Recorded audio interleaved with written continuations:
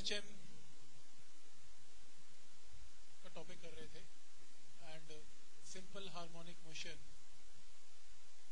में देखते हैं क्या करते हैं आज लास्ट टाइम क्या पीरियोडिक मोशन बता दिया था मैंने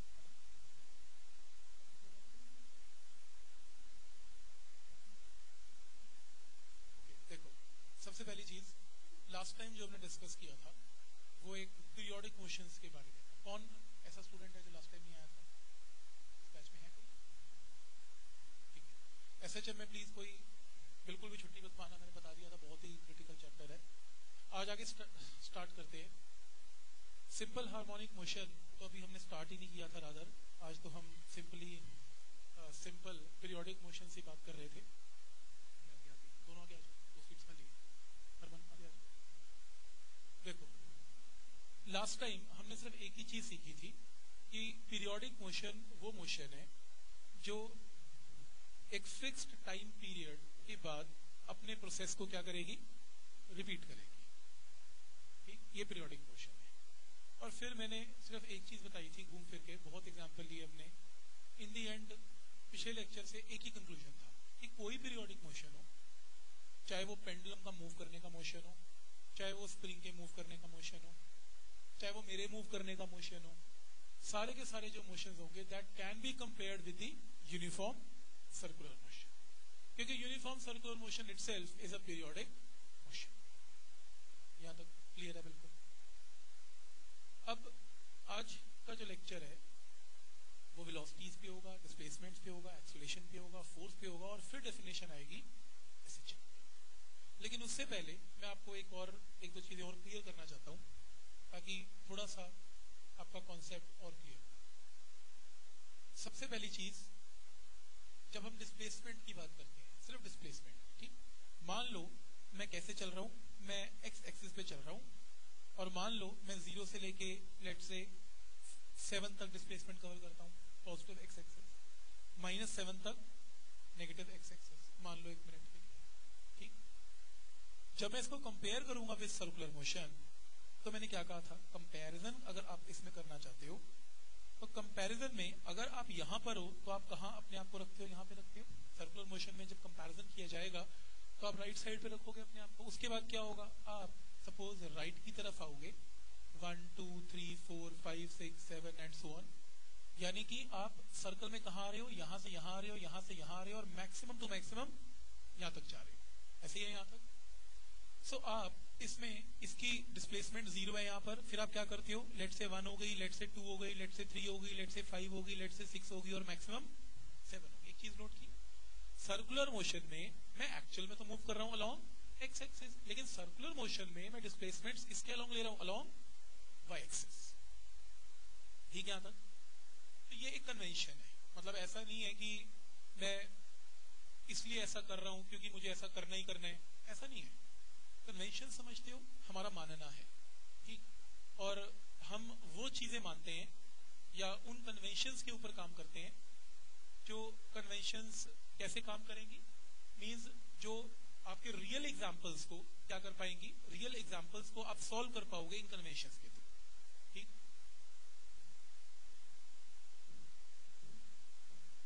तो ऐसा नहीं है कि अगर मैं डिस्प्लेसमेंट की बात करूँ अगर मैं डिस्प्लेसमेंट की बात करूँ तो डिस्प्लेसमेंट क्योंकि मैं एक्स एक्सिस के अलोंग ही मूव कर रहा हूँ तो मुझे एक्स के अलोंग ही मूव करना है, या मुझे यहाँ डिस्प्लेसमेंट एक्स के अलोंग ही लेनी है?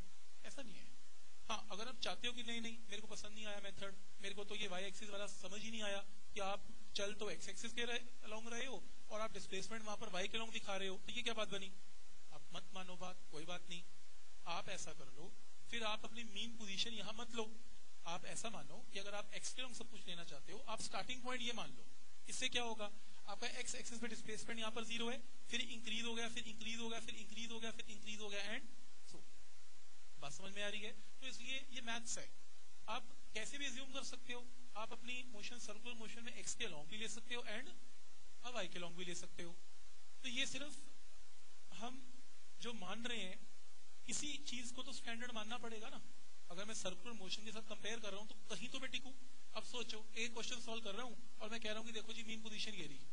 फिर मान लो चार पाँच क्वेश्चन सॉल्व करने के बाद मैं कहता हूँ, नहीं मीन पोजीशन ये नहीं है मीन पोजीशन तो ये है। आप कहोगे कि कमाल है। कल तो मीन पोजीशन यहाँ पर थी, आज मीन पोजीशन वहाँ पर है। फिर मैं समझाऊँगा कि इसलिए मीन पोजीशन यहाँ पर है, क्योंकि यहाँ पर भी अज्यूम कर सकते हैं। तो ये तो बहुत कंफ्यूजिंग हो जाएगा। हम तो यही काम करते रह जाएँगे कि मीन पोजीशन क्या लेनी है, क्या नहीं लेनी तो एक काम करते हैं आज, हम फिक्स ही कर लेते हैं। और हमारा, आज के बाद जो फिक्स करने का पॉइंट वही रहेगा जो हमारी बुक्स करेंगी। फिक्स तो हम कुछ भी कर सकते हैं, पर हमने बुक्स भी तो पढ़नी है। तो इसलिए जो आपकी बुक्स करती हैं, या ज़्यादातर 99 परसेंट बुक्स ही कहूँगा, एक आध बुक होगी जो जिसकी सोच अलग होगी ऑथर की, जो उल्टा चलाएगा, अपना सिस्टम चलाएगा कि नहीं, मैं तो ऐसे मानूँगा। तो नॉर्मल बुक्स में तो यही है कि मेन पोजीशन यही मानी जाएगी। और जो डिस्प्लेसमेंट है वो अलॉन्ग वाई एक्सिस ली जाएगी, चाहे आप चल कैसे रहे हो अलोंग एक्स एक्स आपने डायरेक्शन ही देखनी एक्स और वाई आपने ये देखना है, आपकी वैल्यूज़ मैच कर रही है कि नहीं कर रही क्योंकि आप चल रहे हो zero one two three four seven, फिर seven six five four three two one zero, फिर माइनस वन से लेके minus seven and then zero. तो आपको यहाँ मैच करना है कि आपकी यहाँ पर तो वैल्यू सेटिस्फाइड हो रही है ना तो हम ऐसे माने ठीक? तो अब, अगर मैं किसी भी मोशन को, अगर मैं किसी भी मोशन को सर्कुलर के साथ कंपेयर करता हूँ, और हमने लास्ट टाइम ये भी डिस्कस किया था कि अगर सपोज़ करो कोई पॉइंट यहाँ पर है तो इस पॉइंट पर स्टैंडर्ड एंगल हमेशा क्या लेते हैं? ओमेगा टी लेते हैं। स्टैंडर्ड एंगल ओमेगा टी तो इस पॉइंट पर, और ये क्या चीज़ है? आर आर को हम क्या बोलते हैं? सर्कल में तो रेडियस बोलते हैं। लेकिन जब मैं नॉर्मल मोशन में होऊँगा तो ये मैक्सिमम डिस्प्लेसमेंट क्या होगी यहाँ पर? आर ठीक है ना यहाँ तक? इसको क्या बोलेंगे? एम्पलीट्यूड बोलेंगे। ठीक है। तो इसमें मान लो ये आर है तो इसके अंदर अगर मैं एक राइट एंगल ट्राइंगल बनाऊ, ये मैंने एक राइट एंगल ट्राइंगल बनाया, जिसमें ये वाई है और ये एक्स है। इस राइट एंगल ट्राइंगल को सॉल्व करोगे तो एक्स की वैल्यू आएगी कितनी? आर कॉस ओमेगा टी और वाई की वैल्यू क्या आएगी? आर साइन ओमेगा ये पॉइंट सबको क्लियर है? ठीक है ना यहाँ तक? तो एक्स की वैल्यू आ गई एंड वाई की वैल्यू आ गई। अब कौन सी मानने हम कौन सी मान रहे हैं अलोंग वाई एक्स क्योंकि जो मेरी, जो वैल्यूज़ हैं और मैथ्स वाले थोड़ा सा ज़्यादा समझते हैं क्योंकि मैथ्स में साइन थीटा का ग्राफ या साइन थीटा की वैल्यूज़ कहाँ से स्टार्ट होती हैं? साइन ज़ीरो इज़ ज़ीरो तो हम साइन में ही काम करेंगे। क्योंकि हमारी मीन पोजीशन पर डिस्प्लेसमेंट क्या होती है? ज़ीरो और अगर जो मेडिकल वाले स्टूडेंट उनके लिए बता दूँ मैं कि साइन ऑफ़ एनी एंगल जो है वो मैंने बताया था माइनस वन और वन के बीच में होता है। और साइन ज़ीरो क्या होता है? ज़ीरो और हमारी डिस्प्लेसमेंट में मीन पोजीशन पे क्या है? ज़ीरो तो हम साइन को प्रेफर करेंगे क्योंकि साइन थीटा का ग्राफ या साइन थीटा का जो फ़ंक्शन है, वो हमारी वैल्यूज़ को सेटिस्फाई कर रहा है। यहाँ तक क्लियर है? इन शॉर्ट अगर बिल्कुल भी समझ नहीं आ रहा तो ये सुन लो। जब भी एक बॉडी सर्कल मोशन में मूव करेगी तो उसकी दो डिस्प्लेसमेंट जो है साइमल्टेनियसली वो कवर करेगी। एक एक्स और एक वाई इन शॉर्ट आपने साइन वाला फ़ंक्शन लेना आपने कॉस वाला नहीं लेना। ठीक हो गया यहाँ तक? तो इसमें, इसका मतलब क्या हुआ? कि जो डिस्प्लेसमेंट है, उसको या तो हम लिख सकते हैं R cos of omega T या फिर हम डिस्प्लेसमेंट को क्या लिख सकते हैं? Equal to R sine of दोनों में से कुछ भी ले सकते हैं। हम वाई को प्रेफर करेंगे। किसी ने कहा कि, सर, एक बात बताओ। आप जब मूव कर रहे थे पीरियोडिक मोशन में, आगे पीछे आगे पीछे, या स्प्रिंग मूव कर रहा था, आगे पीछे आगे पीछे तो उसकी, फिर ये बताओ कि उसकी वेलोसिटी क्या होगी? कोई हर पार्टिकल की वेलोसिटी मान लो पेंडुलम है। पेंडुलम का बेस्ट एग्जांपल है। पेंडुलम जल्दी समझ आता है एक्चुअल पेंडुलम इसलिए समझ आता है कि वर्क एनर्जी पार्ट में सबने किया हुआ है। कैसे? पेंडुलम यहाँ पर है। इस पॉइंट पर उसकी डिस्प्लेसमेंट ज़ीरो है। फिर पेंडुलम कहाँ पर गया? इधर गया। फिर पेंडुलम, वापस आया, फिर इधर गया, फिर वापस आया।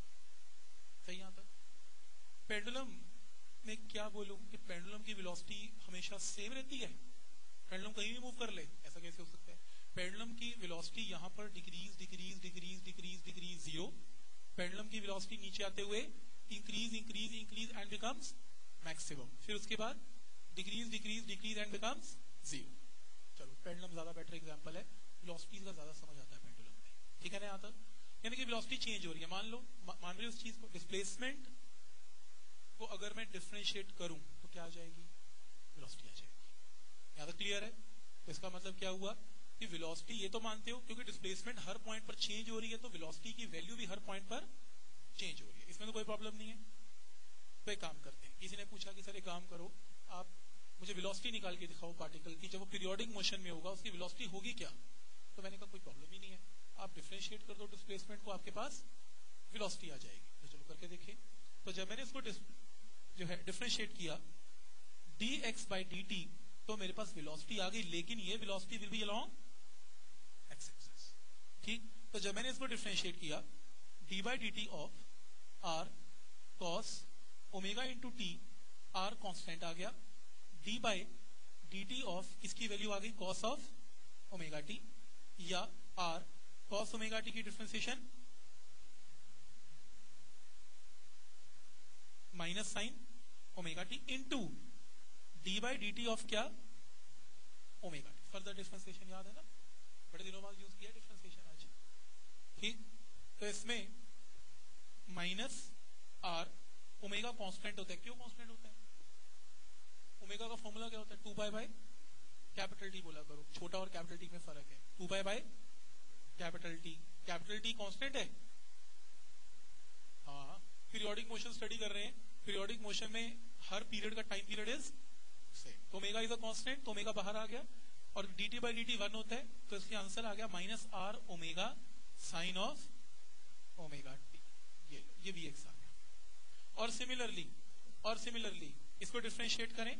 तो v of y will be equal to d by D T of y या d by D T of r into sine of omega T R constant differentiation of sine omega T is cos omega T और as usual omega बाहर आ जाएगा। Differentiation की वजह से ये value आ जाएगी v ऑफ़ y. इसमें कोई डाउट ठीक है ना यहाँ तक? पर क्योंकि हमारी डिस्प्लेसमेंट x के अलोंग तो हमने ली नहीं, while comparing our motion with circular motion, we have not considered displacement along x-axis, we have considered displacement only along y-axis. So, this is the displacement along y-axis. तो अगर मेरा particle ऐसे move कर रहा है, चाहे वो पेंडुलम है, चाहे वो स्प्रिंग है, चाहे मैं खुद मूव कर रहा हूँ, कोई भी मूव कर रहा है, मेरी वेलोसिटी का फॉर्मूला ये रहा है। क्योंकि मैं तो उसको छोड़ ही चुका हूँ ना। हाँ वैसे करके दिखा रहा हूँ मैं कि जो लोग वो रेफरेंस पॉइंट मानते हैं, उनका क्या होगा? या वो इक्वेशन कब यूज़ करनी है, मैं वही बताऊँगा। पर हम तो ये यूज़ कर रहे हैं ना। और अगर हम ये यूज़ कर रहे हैं तो वेलोसिटी की वैल्यू भी हम यहाँ तक क्लियर है। अब एक स्टूडेंट और था, वो कहता है कि डिफ्रेंसिएशन में भूल चुका हूँ। बहुत सारे लोग भूल चुके होंगे। ठीक? तो डिफ्रेंसिएशन नहीं याद। कोई और तरीका बताओ जिससे कि ये आंसर आ जाए। तो अगर डिफ्रेंसिएशन नहीं याद तो सर्कुलर मोशन तो सबको याद होगा। वो भी नहीं याद? अच्छा ठीक है। तो देखो, इतना तो पता ही होगा सर्कुलर मोशन में। इतना तो पता ही होगा कि suppose a particle is moving in a circle तो इसकी velocity v is equal to R ये तो पता है ना? और ओमेगा कांस्टेंट है, v equal to R omega याद है? Tangential velocity v equal to R omega अब सपोज़ करो, एक काम करते हैं। मैं अपनी मोशन को सर्कल के साथ कंपेयर कर रहा हूँ तो v equal to R omega में कर सकता हूँ। अब स्टैंडर्ड एंगल मैंने आपको बताया था सेंटर पे क्या होता है? ओमेगा टी होता है। ये भी क्लियर है यहाँ तक? एक काम करते हैं। ये अगर ओमेगा टी है तो ये भी कितना है? ओमेगा टी है। और अगर ये ओमेगा टी है तो क्या मैं ऐसा कह सकता हूँ, ये कितना है? 90 माइनस क्योंकि ये टेंजेंट है ना, ये टेंजेंट है रेडियस के साथ, ये भी क्लियर है यहाँ तक? अब इसके वेलोसिटी के मैं दो कंपोनेंट्स बनाने वाला हूँ। एक, ये कंपोनेंट कितना? आर ओमेगा कॉस ऑफ़ कितना? 90 माइनस ओमेगा टी और एक वाई एक्सिस के अलाउ कितना?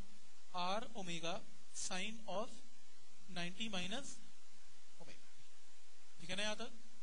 बिल्कुल ठीक कंपोनेंट बनाए एंगल के साथ वाला कंपोनेंट कॉस का और परपेंडिकुलर कंपोनेंट साइन का। तो R into omega into cos of 90 minus omega T is sine omega T और इधर आ जाए is equal to what R omega cos of omega T ये पॉइंट सबको क्लियर है?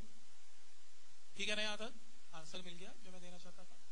देखो, मैं ये बता रहा था कि अगर कोई डिफ्रेंसिएशन नहीं करना चाहता तो ये वेलोसिटी है अलोंग एक्स एक्सिस ये वेलोसिटी है along y axis y axis की velocity towards positive y axis है तो इसका साइन आगे क्या रहेगा? प्लस और एक्स एक्सिस की velocity towards negative x axis है। इसलिए वी एक्स को हम क्या लिखेंगे? Minus r omega sine of यानी कि बात तो वहीं पर आगे जो मैं बता रहा था। बिल्कुल ठीक है ना यहाँ तक तो जब हम डिफ्रेंसिएशन कर रहे हैं तो भी वही आंसर आ रहा है। अगर हम डायग्राम से कर रहे हैं तो भी सेम आंसर आ रहा है। समझ आ रहा है? क्लियर है यहाँ तक? कोई आपसे स्कूल में पूछने नहीं वाला ये करके दिखाओ। नहीं पूछेगा ये सिर्फ़ कॉन्सेप्ट है। बस डिफ्रेंसिएशन नहीं, क्योंकि ऐसा होता है जो एस एच एम लोगों को इसलिए भी मुश्किल लगता है क्योंकि एस एच एम के क्वेश्चन को अटेम्प्ट करने के ना दस नए नए तरीके हैं। कोई ऑथर क्या करेगा या कोई स्टूडेंट क्या करेगा, वो कहेगा कि नहीं, ये डिफ्रेंसिएशन वाला ना काम मुझसे होता नहीं है। मैं काम करता हूँ, क्योंकि मैं अपने स्प्रिंग के मोशन को कंपेयर कर सकता हूँ विद सर्कुलर मोशन तो मैं अपना क्वेश्चन सर्कल के साथ ही सॉल्व कर दूँगा। तो कई बुक्स करती हैं, अपने क्वेश्चन को मतलब क्वेश्चन चल रहा होगा स्प्रिंग का, और वो क्वेश्चन सॉल्व कर देंगे विद सर्कल ये अप्रोच है। ठीक तो आपको दोनों चीज़ें पता होनी चाहिए कि अगर सर्कल से करना है तो कैसे करना है कॉम्पोनेंट्स लेके करना है, और अगर डिफ्रेंसिएशन से करना है तो कैसे? याद क्लियर है? पर हम, मैंने बता दिया कि हम एज अ कन्वेंशन क्या मानेंगे सारे कंपोनेंट सिर्फ़ अलोंग बाई एक्सेस ही लेंगे हम एक्स के अलोंग नहीं लेंगे। ज़्यादा क्लियर है? कोई डाउट किसी को इसमें? नेक्स्ट स्टेप पे चलते हैं। नेक्स्ट स्टेप पे अभी हमने जो वेलोसिटी अलोंग एक्स एक्सिस निकाली, उसकी वैल्यू क्या थी? Minus r omega sine of omega t और वेलोसिटी अलोंग वाई एक्सिस कोई डाउट इसमें ठीक है देखो मैं अगर आपसे ये ये वेलोसिटी समझ आ रही है कि है क्या कि अगर कोई बॉडी पीरियोडिक मोशन में मूव कर रही है तो पीरियोडिक मोशन में अगर कोई बॉडी मूव कर रही है तो उस मूव करने के दौरान उसकी वेलोसिटी कैसे चेंज हो रही है? किसी ने क्वेश्चन पूछ लिया। तो ये बताओ ठीक पंद्रह घंटों के बाद फिफ्टीन आवर्स के बाद, आपकी वेलोसिटी क्या होगी वाई एक्सिस के लॉन्ग या आपकी वेलोसिटी क्या होगी? पंद्रह घंटे के बाद क्या होगी वेलोसिटी हम कर सकते हैं। आप स्मॉल टी की जगह फिफ्टीन आवर्स को सेकंड में कन्वर्ट कर लेना वेलोसिटी आ जाएगी। तो समझ आ रहा है हम क्या निकाल रहे हैं? हम वेलोसिटीज निकाल रहे हैं at a particular instant of time time की डिफरेंट डिफरेंट वैल्यूज़ पर वेलोसिटी की डिफरेंट डिफरेंट वैल्यूज़ हम इसी को स्टडी कर रहे हैं। और क्योंकि velocity is changing with time तो इसका मतलब एक चीज़, एक और चीज़ होगी। उसको क्या बोलते हैं? एक्सलरेशन जब वेलोसिटी कांस्टेंट नहीं है। वेलोसिटी चेंज हो रही है पीरियोडिक मोशन में। हमने पेंडुलम का केस किया। पेंडुलम में वेलोसिटी की वैल्यू कम कम कम कम कम ज़ीरो रिटार्डेशन है। नीचे आते हुए एक्सलेशन है। तो किसी ने कहा कि सर एक्सलेशन की वैल्यू बताओ क्या होगी? मैं इसको क्या करूँ? दोनों इक्वेशंस को डिफरेंशिएट वेलोसिटी को डिफरेंशिएट करोगे तो क्या आएगी? तो कराओ डिफरेंशिएट डिफरेंशिएट करते हैं. A of x is d by dt of v of x और a of x is equal to d by dt of minus r omega sin of omega t या a of x is equal to minus r omega बाहर d by dt of sin omega t, या a of x is equal to minus r omega square cos of omega t जब आप इसको differentiate करोगे तो ये आएगा। ठीक है, याद आपसे कोई करवा के देख नहीं रहा, मैं वैसे सिर्फ़ कॉन्सेप्ट क्लियर कर रहा हूँ। मतलब ऐसा मैंने बुकलेट में लिखा भी नहीं हुआ कुछ भी, लेकिन बता रहा हूँ कि इस तरीके से यू कैन कैलकुलेट यहाँ तक क्लियर है। नेक्स्ट है। अगर आप ए वाई निकालो ए ऑफ़ वाई तो a y is d by d t of क्या? वी ऑफ़ वाई या d by d t of v of y की जगह r omega cos of omega t और जब आप इसे सॉल्व करोगे तो ए ऑफ़ वाई की वैल्यू सॉल्व करने पे आ रही है minus r omega sine of मान लो आपने डिफ्रेंशिएट कर लिया और ये वैल्यू आपके पास आ गई। ठीक है यहाँ तक? समझ आ रहा है? सबको क्लियर है यहाँ तक? ठीक अब फिर सेम प्रॉब्लम डिफ्रेंसिएशन नहीं आती। कोई बात नहीं सर्कुलर मोशन तो आता है, अगर वो भी नहीं आता तो कुछ नहीं आता। फिर तो फिजिक्स ही नहीं आती सर्कल नहीं आता तो रोटेशन नहीं आता सर्कल नहीं आता तो एसएचएम भी नहीं आता। तो आता क्या है? कॉम्पिटिशन में आना क्या है? Rotational S H M waves property thermo जिनको ये नहीं आता उनको कुछ भी नहीं आता मैं तो हमेशा ही बोलता हूँ चलो तो आगे चले डायग्राम से मैं सेम चीज़ करके दिखाता हूँ। इधर देखो। फिर से वही चीज़। लेकिन इस बार इस बार मैं काम करने वाला हूँ। जब कोई बॉडी यूनिफॉर्म सर्कुलर मोशन में है तो उसके पास कितनी एक्सलेशन है, बताओ। मैंने कहा यूनिफॉर्म सर्कुलर मोशन भूल गए अगर बॉडी यूनिफॉर्म सर्कुलर मोशन का मतलब उसकी स्पीड की वैल्यू चेंज नहीं होगी तो एक ही एक्सलेशन है सेंट्रीपिटल लेकिन अगर उसकी स्पीड की वैल्यू भी चेंज होगी तो सेंट्रीपिटल तो है ही है साथ में टेंजेंशियल लेकिन क्योंकि स्पीड चेंज नहीं हो रही, क्योंकि मैं टॉपिक का नाम क्या बोल रहा हूँ? यूनिफॉर्म सर्कुलर तो एक ही एक्सलेशन है, कौन सी? सेंट्रीपिटल ठीक है ना? तो टेंजेंशियल नहीं होगी. तो ये आपकी एक वेक्टर ड्रॉ किया मैंने toward centre r into omega का याद है? सेंटीमीटर एक्सलेशन का फॉर्मूला आर डाउट इसमें ठीक है ना? और एज यूजुअल जो एंगल्स हैं, वो तो स्टैंडर्ड है कितने? स्टैंडर्ड एंगल ओमेगा टी किसी भी इंस्टेंट पर। तो एक काम करें, ये ओमेगा टी तो ये भी ओमेगा टी तो एक, इसको ऐसा कर सकते हैं। ये आर ओमेगा स्क्वायर एक्सलेशन है। इसके दो कंपोनेंट्स हो सकते हैं। कितने? R into omega square into cos of omega t और एक कंपोनेंट नीचे होगा r into omega square into sine of omega तो ये ए एक्स आ गया और ये ए वाई आ गया और क्योंकि जो ए एक्स है, वो नेगेटिव एक्स एक्सिस के अलोंग है तो ए एक्स की वैल्यू क्या लिखेंगे? Minus r omega square cos of omega t और क्योंकि ये भी नेगेटिव वाई एक्सिस के अलोंग है तो डायरेक्शन की वजह से यहाँ पर क्या आ जाएगा? Minus r omega square sine of बिल्कुल वही आंसर आ गया जो हम डिफ्रेंसिएशन कोई डाउट इसमें ठीक है ना? सेम आंसर निकाल दिया। इसका मतलब आप कोई मेथड फॉलो कर सकते हो। डिफ्रेंसिएशन पसंद है तो वो कर लो, नहीं पसंद तो ये तो है ही है। अच्छी तरह क्लियर है? ठीक। अलर्ट रहना पड़ेगा मेडिकल वालों को। थोड़ा ज़्यादा। इन भरोसे, इनके भरोसे मत बैठना नॉन मेडिकल वालों के इनको साइन कॉस्ट या जैसे भी, चाहे मैथ्स में फेल होते हो, पर साइन कॉस्ट उनको फिर भी आता ही होगा। ठीक। तो देखो, यहाँ तक क्लियर है? चलो। अब अब जो मैं बताने जा रहा हूँ, उसको ध्यान से सुनना और बहुत ध्यान से सुनना। मैं दो चीज़ें बताने जा रहा हूँ। जब मैंने वेलोसिटी जब मैंने मैंने एक चीज़ तो बताई थी कि ये जो y है, उसको हम क्या लेंगे? r इंटू साइन ऑफ़ मैंने आपको x कंपोनेंट सॉल्व करके दिखाया, पर मेरे को ज़रूरत नहीं है, क्योंकि मैं y डिस्प्लेसमेंट के साथ काम करूँगा, मैं x के साथ काम नहीं करूँगा। शुरू मैंने उसका बता दिया था रीजन क्या है।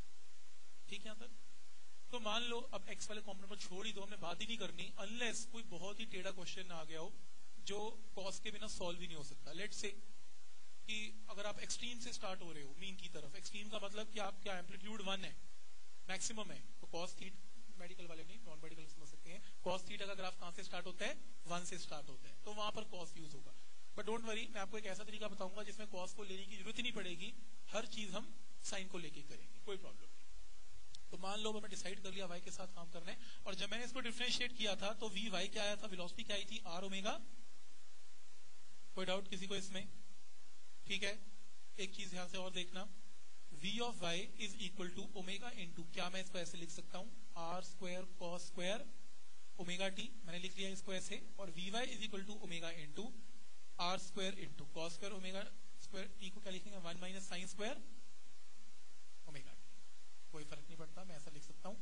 और v y is equal to omega into मुझे एक चीज़ बताओ, ये क्या हो गया? R square minus r square ठीक है ना? तो r square sine square omega t और आर साइन ओमेगा टी क्या होता है? Y y is equal to याद है? वो लिखा हुआ है। Y is equal to r sine omega t तो मेरे पास क्या आ गया? V of y is omega into under root of r square minus तो ये मैंने पता है क्या निकाल दिया? ये मैंने वेलोसिटी की वैल्यू निकाल दी किसी भी इंस्टेंट पर इन टर्म्स ऑफ़ डिस्प्लेसमेंट जब जब उसकी डिस्प्लेसमेंट y की वैल्यू चेंज होगी तो v की वैल्यू भी चेंज होगी। साथ में r फॉर एम्पलीट्यूड वैसे आपने एसएचएम में बोलना है एम्पलीट्यूड सर्कल में बोलना है रेडियस बट हम सर्कल तो सिर्फ़ अपनी इमेजिनेशन में वर्चुअली करते हैं। एक्चुअल में तो it is a periodic motion S H M है तो हमने इसको एम्पलीट्यूड ही बोलना है। कई बुक्स इसको आर लिखती है, कई इसको ए लिखती हैं। ए फॉर एम्पलीट्यूड और ओमेगा ओमेगा का मतलब two pi by capital T तो इस फॉर्मूले को एक बार याद रखना। यहाँ तक क्लियर है? कोई डाउट किसी को इसमें? कुछ नहीं कर रहा। मैथ्स में इक्वेशन निकालता जा रहा हूँ मैथ्स से। अब आखिरी चीज़ सुनना। डाउट है रजत अमन? ठीक है ना? अब ध्यान से सुनना। एक्सलेशन के ऊपर आ जाते हैं।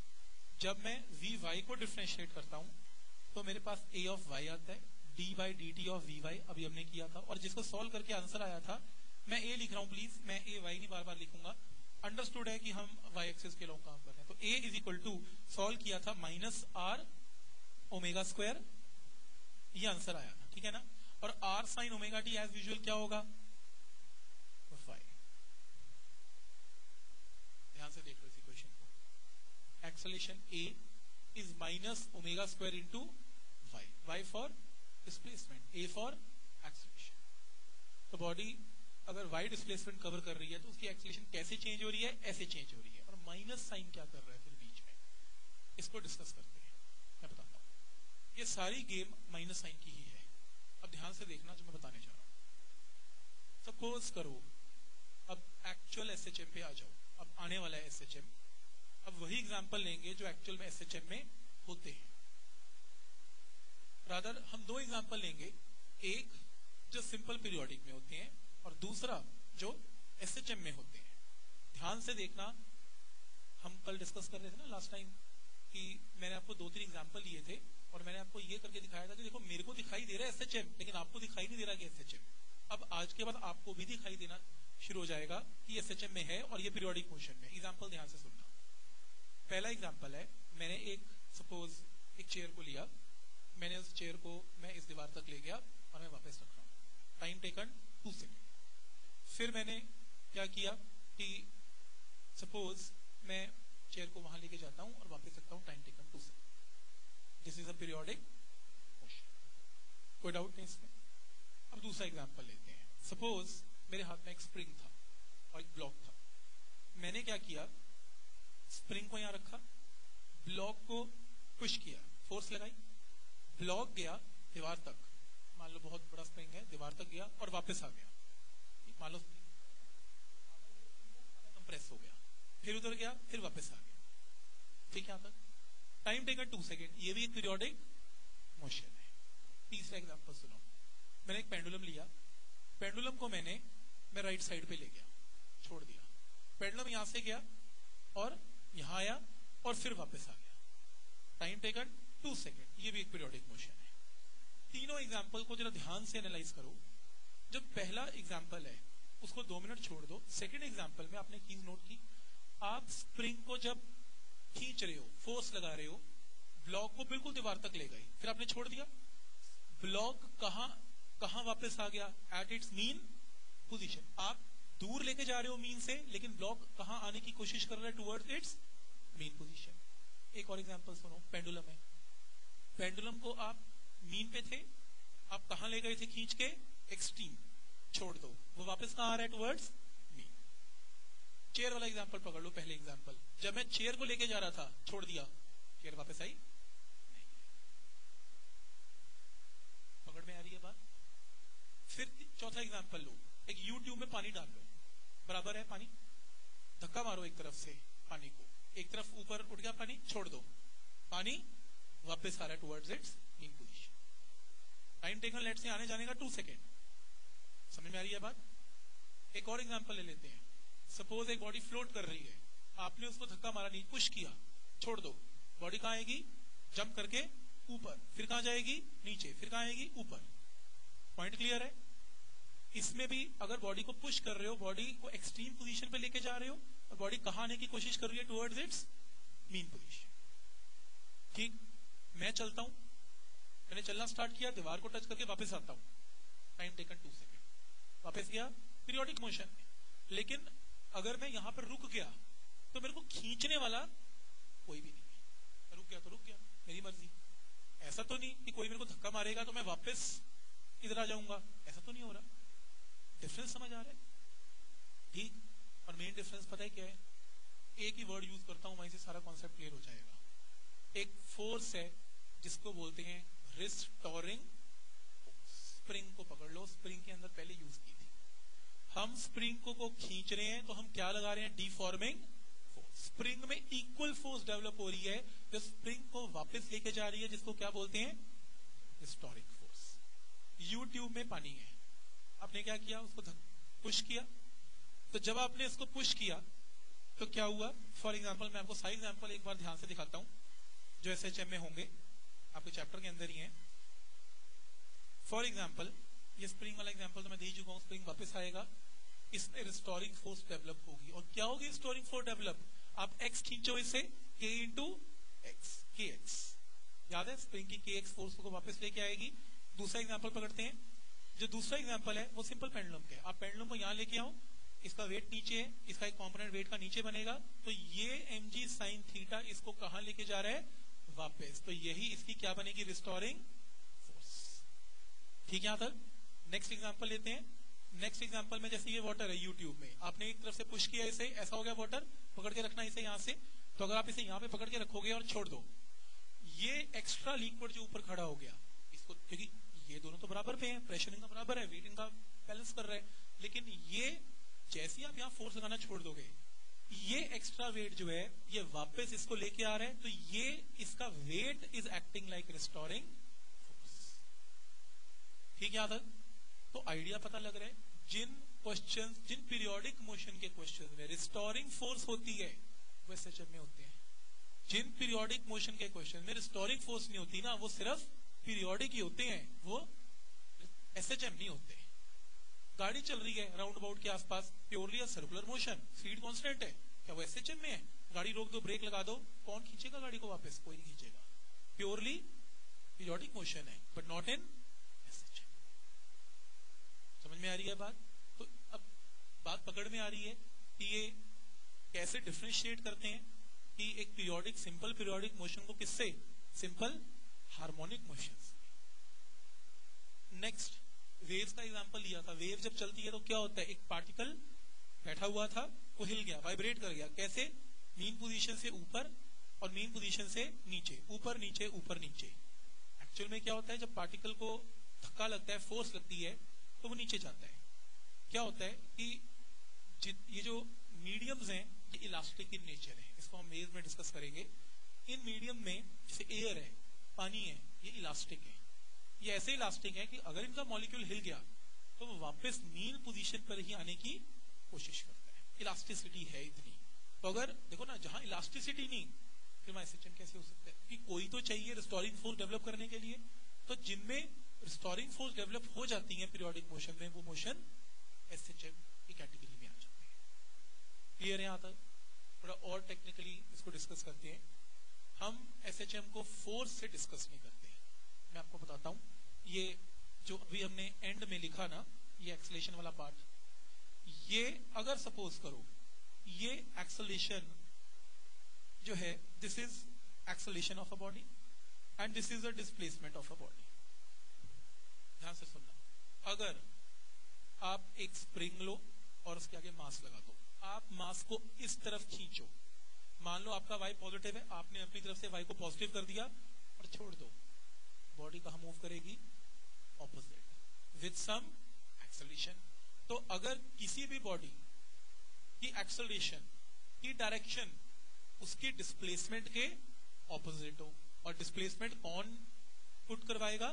डिफॉर्मिंग फोर्स और एक्सलेशन क्यों आएगी? बिकॉज़ ऑफ़ रिस्टोरिंग फोर्स और नेगेटिव साइन ये शो कर रहा है बिकॉज़ ओमेगा स्क्वायर तो कांस्टेंट है. तो क्या मैं ऐसा बोल सकता हूँ कि acceleration acceleration is proportional to displacement with negative sign तो अगर किसी भी बॉडी की एक्सलरेशन उसकी डिस्प्लेसमेंट के प्रोपोर्शनल है, एक प्रोपोर्शनल समझते हो? जितना ज़्यादा स्प्रिंग को खींचोगे वाई ज़्यादा, इसका मतलब उसका वापस आने का ए भी ज़्यादा एक्सलेशन ज़्यादा। तो आप पेंडुलम को जितना वाई ऊपर लेके जाओगे पेंडुलम के नीचे आने की एक्सलेशन भी उतनी ज़्यादा। ठीक? तो प्रपोर्शन का मतलब समझ आ गया? और नेगेटिव साइन समझ आ रहा है? नेगेटिव साइन का मतलब है कि आप डिस्प्लेसमेंट अगर यहाँ करवाओगे तो एक्सलेशन की डायरेक्शन डिस्प्लेसमेंट के ऑपोजिट है।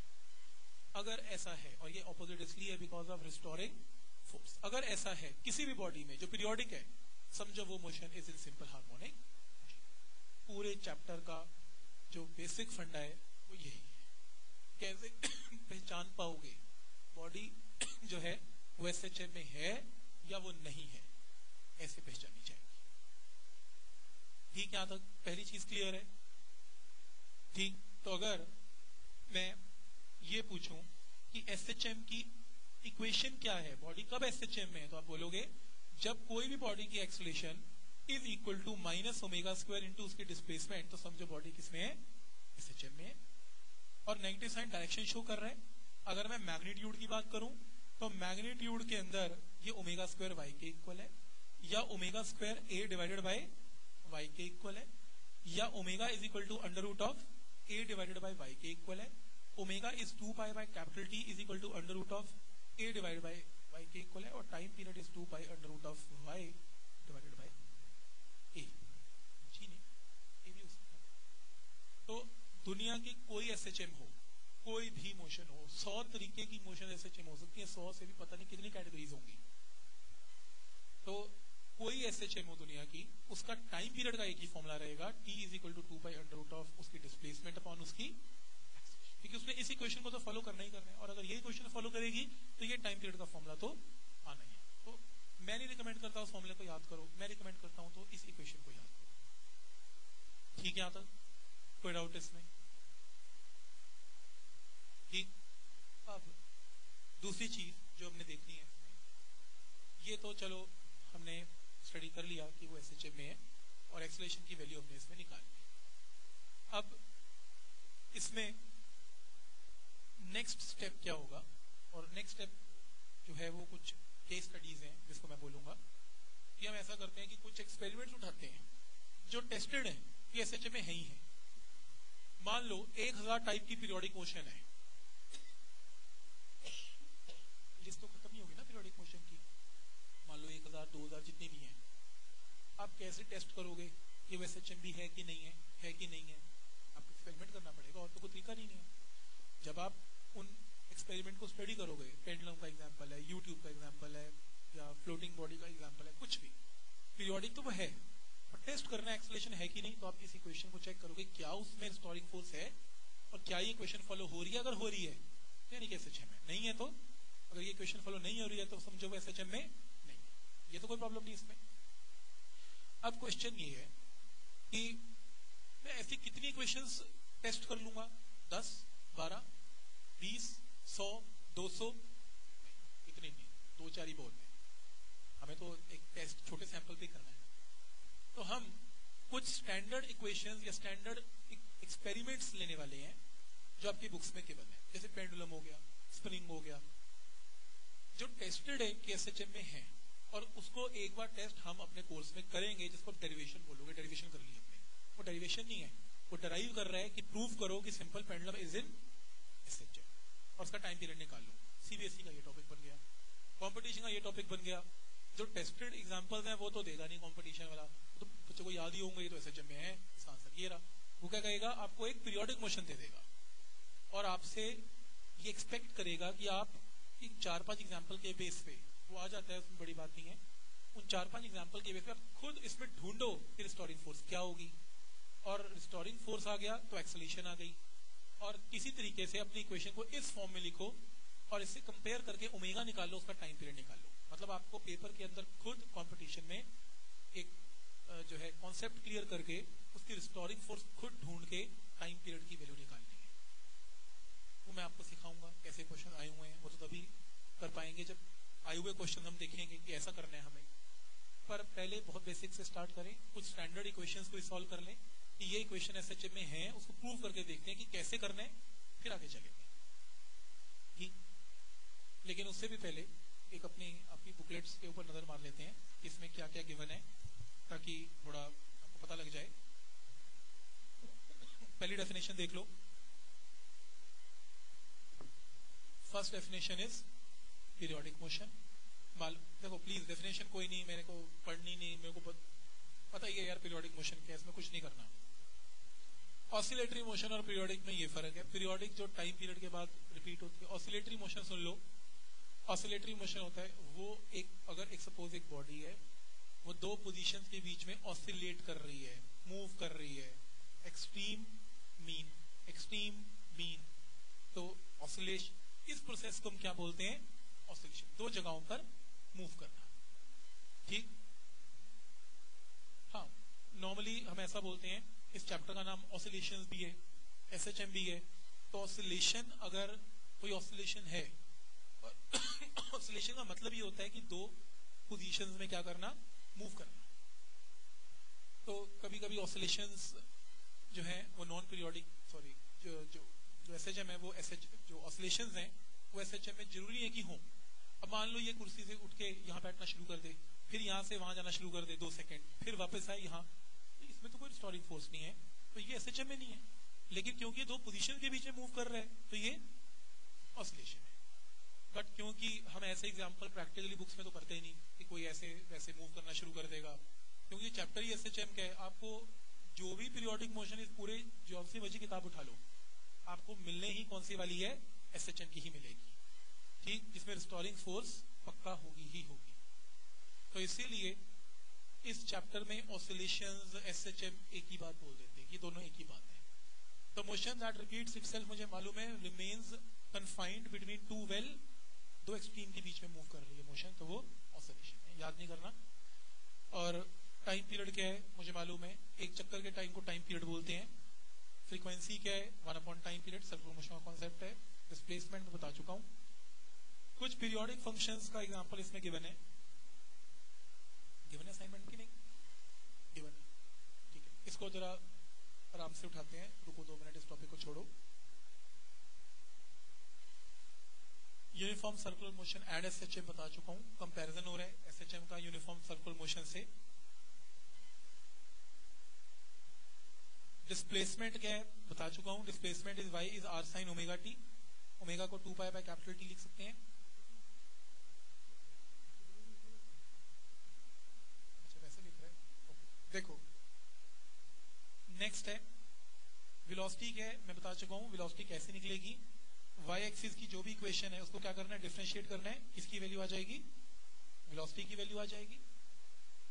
नेक्स्ट इसमें ये फॉर्मूला कैसे डराइव हुआ, मैं आपको बता चुका हूँ। V is equal to omega into under root of r square minus y square कोई भी पार्टिकल अगर एस में होगा तो इस इक्वेशन को फॉलो करेगा।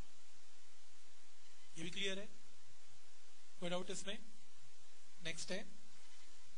स्पेशल केस केसेस में ये बताया गया है, क्योंकि वेलोसिटी की value is r into under root of sorry omega into omega into under root of r square minus ठीक है ना यहाँ तक? विदाउट इसमें एक एग्जांपल लेते हैं पेंडुलम का.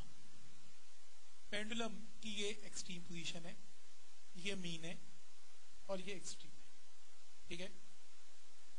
पेंडुलम में वेलोसिटी की जो इक्वेशन फॉलो हो रही है, v is equal to r omega cos of omega t यही था ना? इसको मैंने ठीक मॉडिफाई करके ये किया था। ठीक है ना? ऐसी था। मैंने मैंने इसको लिखा था ना r square cos square omega t cos square को वन माइनस तो एक ही बात है, ये और दो इक्वेशंस एक ही बात है। ठीक? एक बड़ा सिंपल सा कॉन्सेप्ट है कि अगर सपोज़ करो, मैं ये पूछता हूँ कि मान लो बॉडी यहाँ से चली पेंडुलम यहाँ से चला, यहाँ गया, फिर यहाँ से यहाँ आया, यहाँ से होता हुआ यहाँ आया, फिर यहाँ से होता हुआ वापस आया। ठीक है? तो सपोज़ पेंडुलम यहाँ से चला और पेंडुलम यहाँ पर आ गया। सिर्फ़ ये बताओ, जब यहाँ से यहाँ आया तो डिस्प्लेसमेंट कितनी कवर हो गई? Y is equal to r extreme position में आर फॉर एम्पलीट्यूड और डिस्प्लेसमेंट की वैल्यू मैक्सिमम हो जाएगी एट एक्सट्रीम पोजीशन तो वाई की जगह हम क्या पुट कर सकते हैं? R. कोई डाउट इसमें एक काम करते हैं, y की जगह r पुट करें यहाँ पे तो वेलोसिटी की वैल्यू क्या जाएगी? ठीक है ना? आपको मालूम है पेंडुलम एक्सट्रीम पोजीशन पे वेलोसिटी क्या एक्वायर कर लेता है? ठीक है ना, याद मीन पोजीशन पे आए, जब मीन पोजीशन पे आएँगे, यहाँ पर तो वाई की जगह क्या हो जाएगा? ज़ीरो तो v की वैल्यू क्या हो जाएगी? आर ओमेगा आर ओमेगा और जरा इस इक्वेशन को भी साथ साथ देख लो।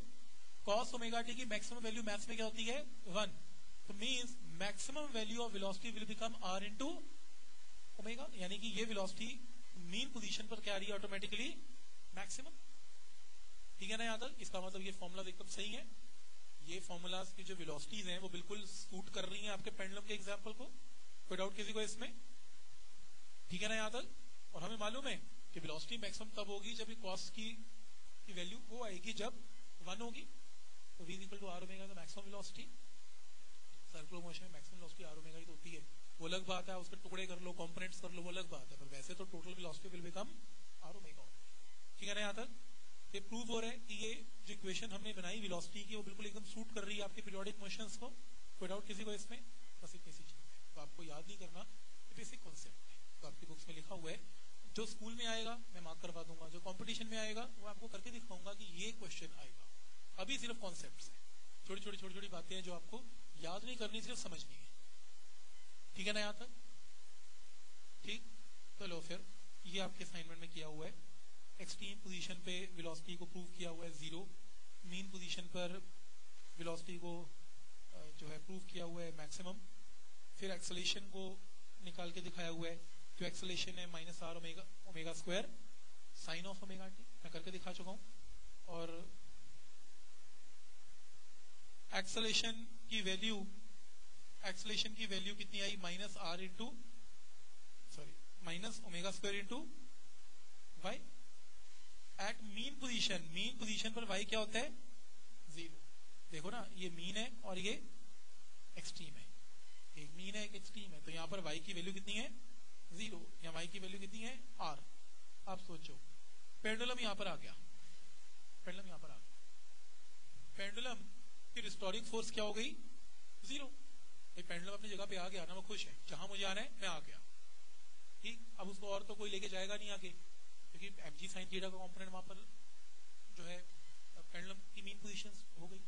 तो उसमें रिस्टोरिंग फोर्स तो है नहीं तो रिस्टोरिंग एक्सलेशन भी नहीं होगी। तो ठीक है ना, जब y is equal to zero है तो एक्सलेशन की वैल्यू भी इसका मतलब ज़ीरो हो जाएगी। लेकिन अगर आप y is equal to r पे हो, y is equal to r तो एक्सलेशन की वैल्यू कितनी होगी? Minus omega square into r जो कि क्या आएगी? मैक्सिमम मैक्सिमम इसलिए क्योंकि ए का वैसे फॉर्मूला पता है क्या था? Minus r omega square sine of omega t वो अलग बात है कि आर साइन ओमेगा टी को मैंने वाई पुट कर लिया था। आप मुझे सिर्फ़ मैथ्स की एक चीज़ बताओ। इसमें अगर मैं एक्सलेशन को मैक्सिमम करना चाहता हूँ तो साइन थीटा की वैल्यू क्या पुट करनी है? वन तो मैक्सिमम एक्सलेशन की वैल्यू क्या आएगी? तो यहाँ से सॉल्व करके जो मैक्सिमम एक्सलेशन की वैल्यू आ रही है, उसका मैग्नीट्यूड क्या आएगा? आर इंटू ओमेगा का स्क्वायर इसका मतलब बिल्कुल ठीक है। एक्सट्रीम पोजीशन पर एक्सलेशन क्या होती है? मैक्सिमम क्यों? क्योंकि रिस्टोरिंग फोर्स क्या होती है? मैक्सिमम तो ये एक्सलेशन वापस जाने की एक्सलेशन है। एक्सलेशन वो नहीं है जो आपने जनरेट की है, वो एक्सलेशन है जो रिस्टोरिंग फोर्स डेवलप कर।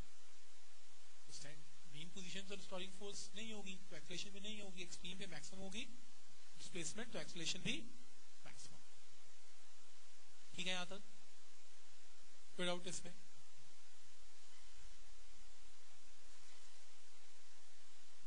टाइम पीरियड मैं निकाल के दे चुका हूँ। टाइम पीरियड क्या होता है? फ्रीक्वेंसी क्या होती है? कुछ नहीं करना सीधा एग्जांपल पे आते असली चीज़ पे आते हैं क्या? है तो इसके अंदर जो आपका पहला एग्ज़ाम्पल है motion of a loaded spring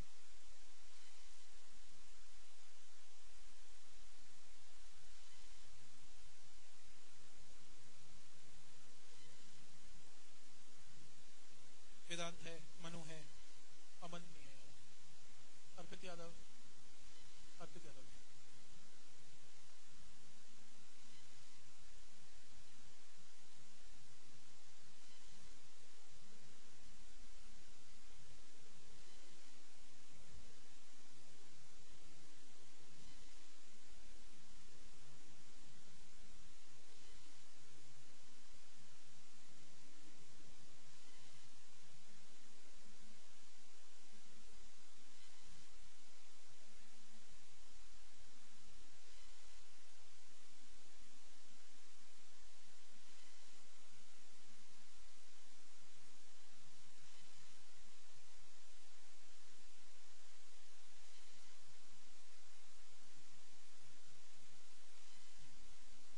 देखो अब जो मैं करवाने जा रहा हूँ वो है तो बड़ा बेसिक कॉन्सेप्ट मतलब बेसिक इन द सेंस कि आपको ये देखना आएगा, पता करना करना आएगा कि कोई पीरियोडिक मोशन एस में कैसे मैथमेटिकली देखनी है, उसका टाइम पीरियड कैसे निकालना है।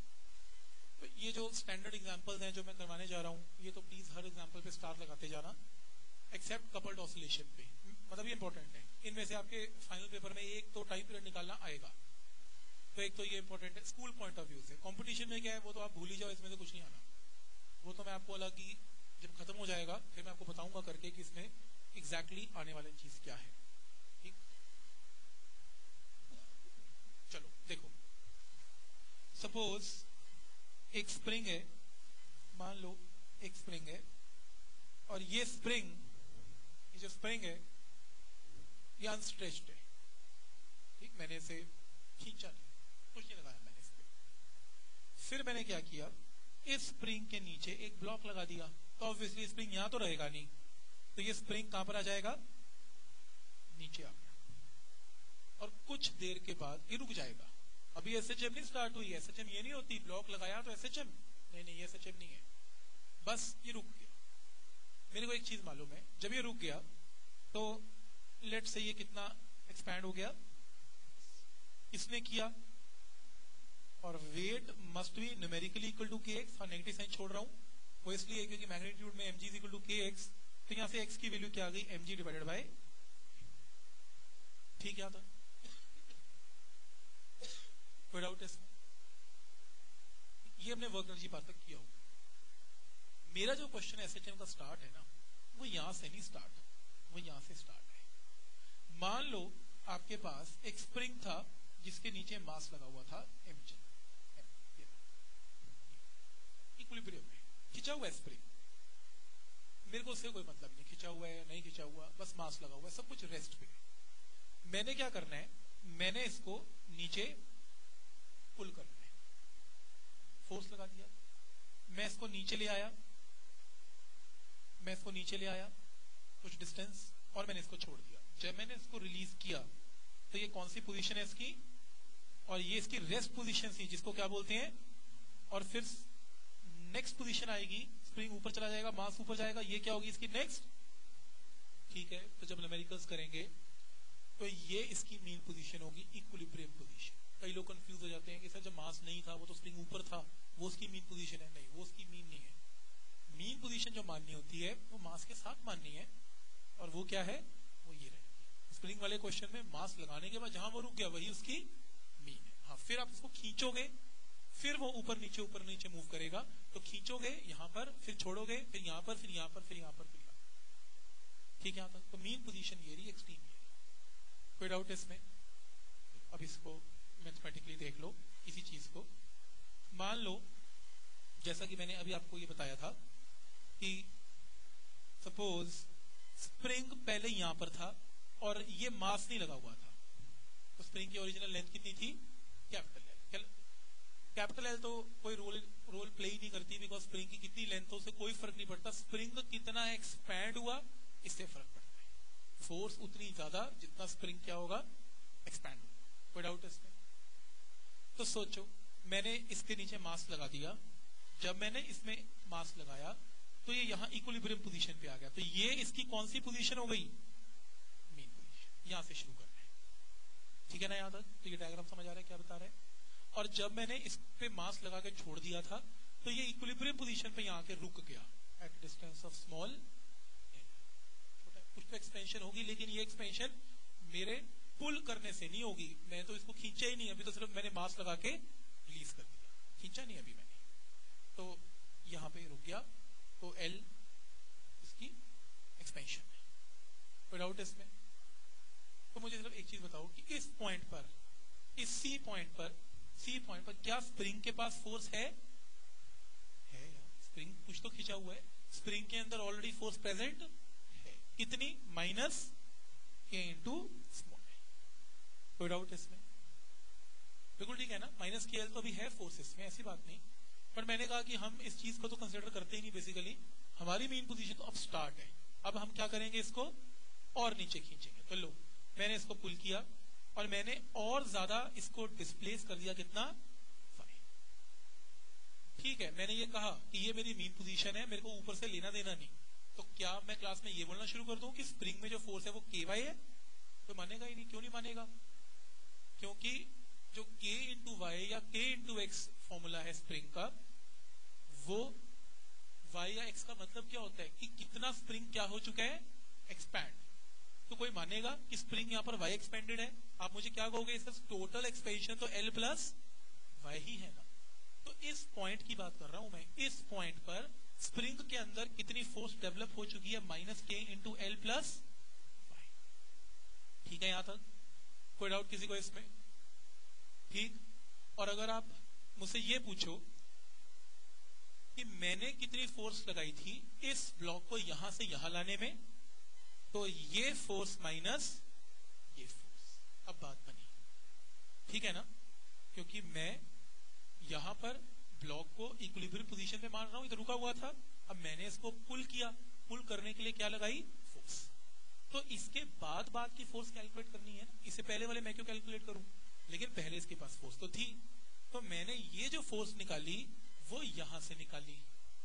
और क्योंकि मेरे को यहाँ से कोई मतलब तो है नहीं तो मैंने इतनी फोर्स को क्या कर देना इसमें से? माइनस पॉइंट समझ में आया? चीज़ क्लियर है? तो अगर मैं ये कैलकुलेट करना चाहता हूँ कि स्प्रिंग को खींचने के लिए मैंने कितनी फोर्स लगाई यहाँ से यहाँ तक? This force minus this force अगर मैं ये बता दूँ कि स्प्रिंग को खींचने के लिए मैंने इतनी फोर्स लगाई तो रिस्टोरिंग फोर्स स्प्रिंग में कितनी डेवलप हो गई? सेम क्योंकि जितनी फोर्स से आप खींचते हो, उतनी फोर्स स्प्रिंग के अंदर डेवलप हो जाती है in the form of restoring समझ में आ रही है बात? मेरी अप्लाइड फोर्स और रिस्टोरिंग फोर्स का मैग्नीट्यूड क्या रहता है? माइनस साइन शो करता है कि रिस्टोरिंग है। अगर प्लस साइन में काम करोगे तो क्या हो जाएगा? मेरी अप्लाइड अगर मैं प्लस हटा दूँ ना, ये मैंने हटा दिया प्लस तो ये क्या है? ये मेरी फोर्स है कि मैंने कितनी फोर्स से इसको खींचा। माइनस लगाऊँगा तो ये वापस जाने की फोर्स कोई डाउट है इसमें? क्लियर है? तो अगर मैं इन दोनों को माइनस कर दूँ, वही मेरी रिस्टोरिंग फोर्स है। ठीक है तक। बस। जिस स्टूडेंट को एस के अंदर रिस्टोरिंग फोर्स की पहचान हो गई। समझो उसका क्वेश्चन तो पक्का सॉल्व हो। कुछ भी नहीं करना, सिर्फ़ दो लाइन का काम है। आपके यहाँ तक क्लियर है? तो देखो रिस्टोरिंग फोर्स अपने असाइनमेंट पे देखो। पहला स्टेप क्लियर है f equal to minus k l उसके बाद दूसरा स्टेप क्लियर है minus k into l plus five तो मैंने इन दोनों को माइनस कर लिया final force minus initial force ये स्टेप भी क्लियर है सबको? ठीक है यहाँ तक तो मैंने इन दोनों फोर्सेस को माइनस कर लिया और जब मैंने इन्हें माइनस किया तो मेरे पास, मैं इसे माइनस करता हूँ। तो ये मेरे पास नेट फोर्स आ गई। This minus this minus minus क्या हो जाएगा? प्लस इसको ओपन कर लेना। Minus k into l minus k into y plus k into l यहाँ से ये कैंसिल तो क्या आ गया? माइनस के वाई कोई डाउट इसमें। ये क्या आ गई? रिस्टोरिंग फोर्स ठीक है तक तो रिस्टोरिंग फोर्स की अगर आपके पास ये वैल्यू आ गई तो मुझे एक चीज़ बताओ। रिस्टोरिंग फोर्स कितनी आई थी अभी पीछे? माइनस के इंटू वाई ये मेरे पास एफ़ डैश माइनस एफ़ यानी कि रिस्टोरिंग फोर्स है। ये कुछ नहीं है। इसकी जगह लिख लो simply restoring force is equal to minus k into y और रिस्टोरिंग फोर्स क्या होती है? Mass into acceleration is equal to minus k into y तो acceleration is equal to what minus k upon m into y ठीक है ना? ठीक? और ये क्या गई रिस्टोरिंग एक्सोलेशन वापस जाने की एक्सलेशन का दूसरा नाम क्या है? रिस्टोरिंग क्लियर है यहाँ तक? कुछ भी नहीं करना। बस ये एफ़ डैश माइनस एफ़ की जगह सिंपली मैंने क्या पुट कर देना है? मास इनटू आपके असाइनमेंट दो स्टेप में किया हुआ है। पहले वो कहता है कि जो नेट फोर्स है वो मास इनटू एक्सलेशन है। तो एक्सलेशन क्या होती है? Net force upon mass. तो अपनी उसमें एफ़ डैश माइनस एफ़ की वैल्यू यहाँ पुट कर दी। मतलब आपके असाइनमेंट में एक स्टेप थोड़ा ज़्यादा किया हुआ है। ये तो सबको क्लियर ही है। और एफ़ डैश माइनस एफ़ की जगह क्या पुट कर देना? माइनस के इंटू कितना? है वाई बस यही स्टेप है। समझ आ गया यहाँ तक? ठीक? तो देखो, अगर आप यहाँ तक भी कर दो कि क्या acceleration is minus k by m into y अब एक चीज़ ध्यान से देखना। इसमें के एक कांस्टेंट है मास भी एक कांस्टेंट है। तो कांस्टेंट हटाएँगे साइन क्या जाएगा? प्रपोर्शनल याद आ रही है equation this is equation of S H M इसका मतलब स्प्रिंग और mass system is in S H M prove कर लिया यहाँ तक? ठीक है ना यहाँ तक? तो प्रूव हो गया। और अगर आपके पास ये वैल्यू आ गई acceleration proportional to displacement with negative sign तो आप इसको कंपेयर कर सकते हो ये जो मैंने इक्वेशन लिखी k by m into y इसको कंपेयर करो with standard equation minus omega square y because this is equation of. Compare करेंगे तो ओमेगा स्क्वायर की वैल्यू क्या आ गई? K डिवाइडेड बाय ठीक है ना याद है कंपेयर कर लिया। तो ओमेगा की वैल्यू क्या आ गई? Under root of k by m ठीक है ना याद है और अगर omega is under root of k by m omega का मतलब क्या होता है? Two pi by t is equal to under root of k by m तो यहाँ से टाइम पीरियड की वैल्यू क्या आ गई? Two pi under root of m divided by किया हुआ असाइनमेंट सबको चेक करो। कोई डाउट इसमें? समझ आ रहा है सबको कि कैसे टाइम पीरियड निकालना? टाइम पीरियड निकालना कोई बड़ी बात नहीं। बस एस एच एम की इक्वेशन तक ले आओ, फिर कंपेयर कर लो ओमेगा स्क्वायर आ जाएगा। ये पॉइंट क्लियर है सबको?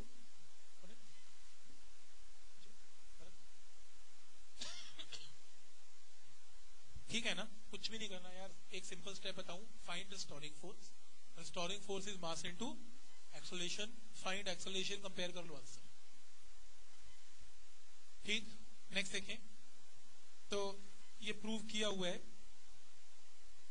इसके अंदर कि t is equal to t is equal to two by under root of m by k बहुत सारे न्यूमेरिकल में फॉर्मूला यूज़ होगा। एक स्प्रिंग है और हाँ इस क्वेश्चन में एजम्पशन है कि स्प्रिंग का मास नहीं लेना। अगर स्प्रिंग का मास लेना है तो फिर इसके एडवांस क्लास में आ जाना। इसका प्रूफ है स्प्रिंग का मास लेना है तो इंटीग्रेशन से करना पड़ता है। फोर्सेस चेंज होती है ना? स्प्रिंग धीरे धीरे एक्सपैंड होगा फोर्स चेंज होगी स्प्रिंग की। ठीक है ना? तो उसमें बताऊँगा। तो स्प्रिंग का अगर मास लेना है तो काफ़ी बड़ा इसका एक मेथड है। तो मैं उसमें बताऊँगा कि कैसे टाइम पीरियड निकालना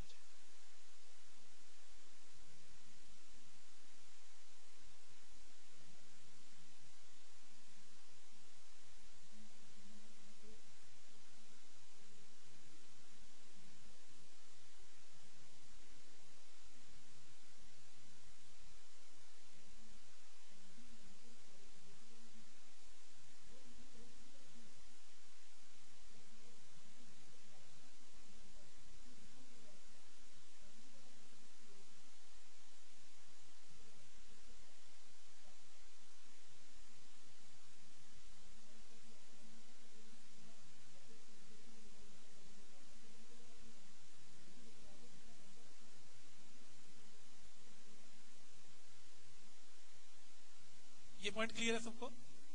तो इसमें टाइम पीरियड की वैल्यू आ गई और टाइम पीरियड की जो value I two by under root of m divided by k याद करो, अभी मैंने थोड़ी देर पहले बताया था at mean position mean position के ऊपर हमने एक इक्वेशन लिखी थी एम जी इक्वल टू ठीक है ना यहाँ तक? तो यहाँ से m upon k can be written as what x divided by g तो चाहो तो टाइम पीरियड को ऐसे लिख सकते हो two by under root of क्या? एक्स डिवाइडेड बाई जी एक ही बात है। रादर मैंने के एक्स नहीं लिखा था, यहाँ पर के एल लिखा था शायद। एल था ना?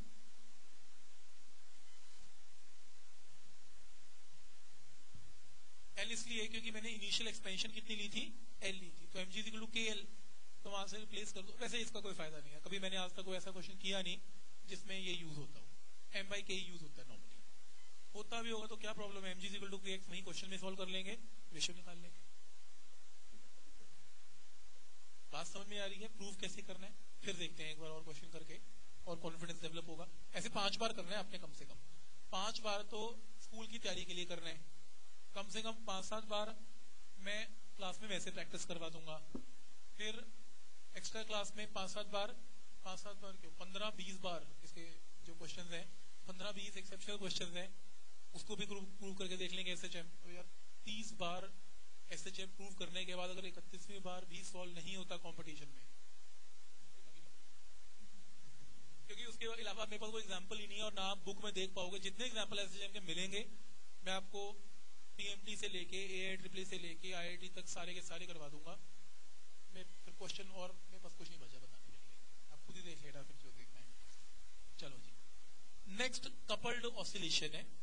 जो कि मैं अभी नहीं करवाऊँगा।